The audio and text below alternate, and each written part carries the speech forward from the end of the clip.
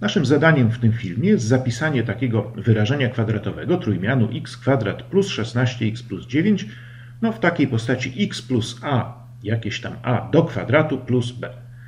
No, czyli chcemy to wyrażenie zapisać w takiej postaci, czyli chcemy znaleźć to a i b.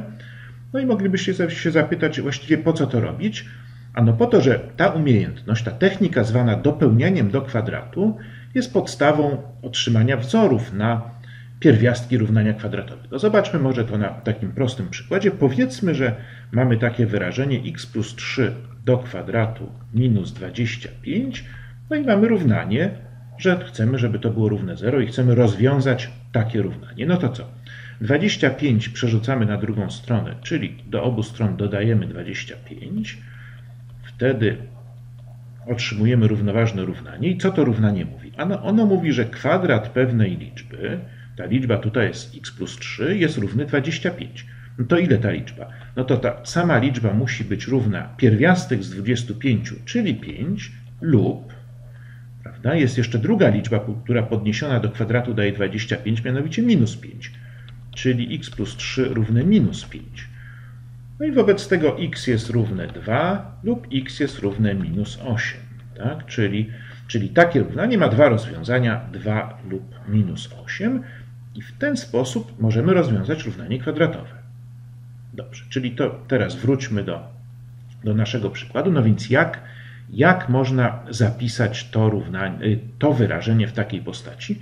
A no zobaczmy, jeżeli my teraz wykonamy tutaj to, to działanie, czyli podniesiemy do kwadratu, to co dostaniemy? To dostaniemy tak, x kwadrat plus 2ax plus a kwadrat plus b.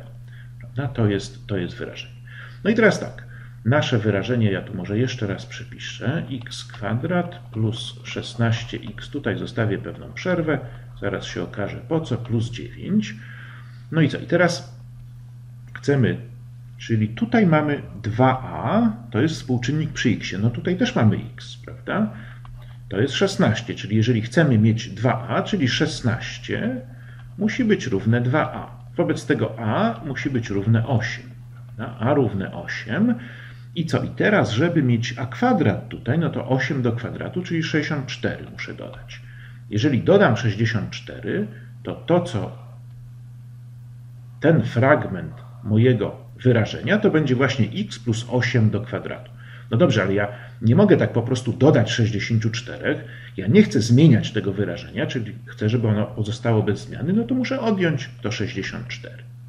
No i teraz właśnie widzę, że to, co mam tutaj, to jest x plus 8 do kwadratu, no i plus 9 minus 64, czyli plus, przepraszam, minus będzie, będzie minus 64 minus 9 to jest 55, tak? Minus 50, 55, prawda? Czyli moje wyrażenie to jest x plus 8 do kwadratu minus 55.